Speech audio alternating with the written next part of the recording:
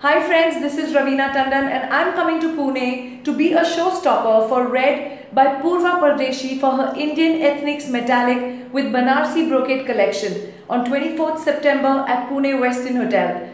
Thank you Sunil Dosani Films for this wonderful event and artist coordination.